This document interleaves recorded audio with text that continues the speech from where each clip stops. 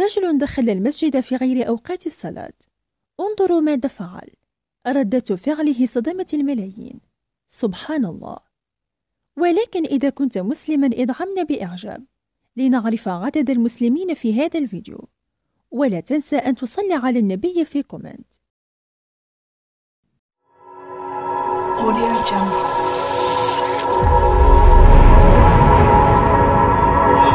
Audio Jungle. يحكى أنه كان هناك شاب لا يصلي وكان يشرب الخمر والمسكرات. وفي يوم من الأيام أعجب بفتاة وأحبها وهي أيضا أحبت وكانت لا تصلي. وعندما أخبرها أنه يريد أن يتزوجها وافقت وقالت له نعم. فذهب الشاب لأبيه وقال له أريد أن أخطب فلانة فهل أنت موافق؟ قال له نعم بكل تأكيد أوافق فوالدها رجل صالح. وبعد ذلك أخذ أباه وذهبوا إلى بيت الفتاة لكي يقابلون والد الفتاة ويطلبوا يدها. فقال والد الشاب لوالد الفتاة السلام عليكم. قال له وعليكم السلام.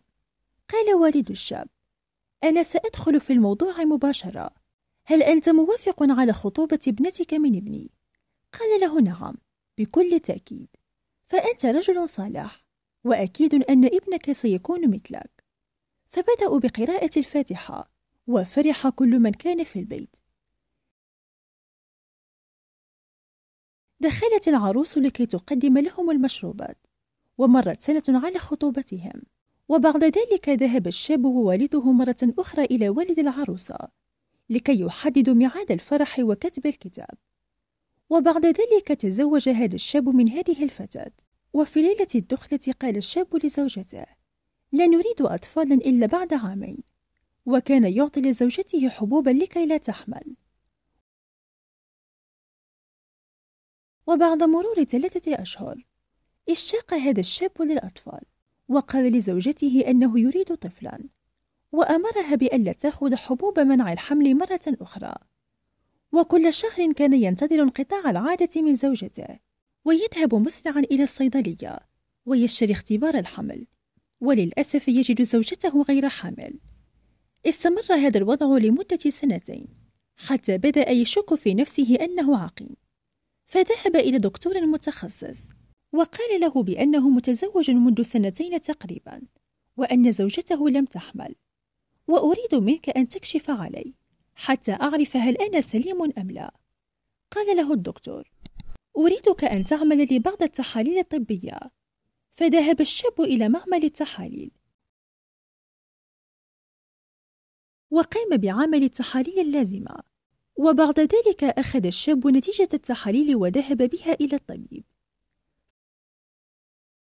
فعندما نظر إليها الطبيب وقرأها قال له أنت بخير ولا يوجد بك أي شيء. وبعد أسبوع تعال مع زوجتك لأقوم بفحص زوجتك أيضا. وبعد مرور أسبوع جاء الشاب ومعه زوجته إلى الدكتور فكشف عليها الطبيب ووجدها سليمة أيضا. فقال لهم الطبيب أنصحكم بالتوكل على الله والأخذ بالأسباب فأنتم لا تعانون من أي مرض أو علة تمنع الحمل. فعليكم أن تدعوا الله عز وجل وتطلبوا منه أن يرزقكم. فبدأ أقارب هذا الشاب ينصحونه بالذهاب إلى الدجالين وغيرهم ولكنه كان يرفض. فنصحه أحد أصدقائه الصالحين بأن يصلي في المسجد وأن يذكر الله كثيرا ويصلي على النبي محمد صلى الله عليه وسلم. فاقتنع الشاب بكلام صديقه وفي اليوم التالي دخل المسجد في غير وقت الصلاة. فرآه رجل كبير في السن وقال له تعال يا ولدي ما لي أراك في وقت غير الصلاة ووجهك عليه الحزن والهم. قال له يا والدي أنا متزوج منذ فترة ولم يرزقني الله سبحانه وتعالى بأطفال ولم أترك طبيبا في العالم إلا وذهبت إليه ولم أجد العلاج. فقال الرجل العجوز لهذا الشاب اجلس فأنا سوف أعطيك الدواء وهذا الدواء صعب للغاية. ولكن والله ثم والله أن فيه الشفاء. فقال لا ما هو هذا الدواء؟ قال العجوز هو أن تقوم قبل صلاة الفجر بساعة أنت وزوجتك وتقسم هذه الساعة إلى نصفين النصف الأول لقيام الليل والنصف الثاني للاستغفار. فالله عز وجل يقول فقلت استغفروا ربكم إنه كان غفارا. يرسل السماء عليكم مدرارا. ويمددكم بأموال وبنين ويجعل لكم جنات ويجعل لكم أنهارا. ما لكم لا ترجون لله وقارا وقد خلقكم أطوارا. فذهب هذا الرجل إلى زوجته. دعونا نسمع الحوار الذي دار بينهم. زوجتي العزيزة الحمد لله.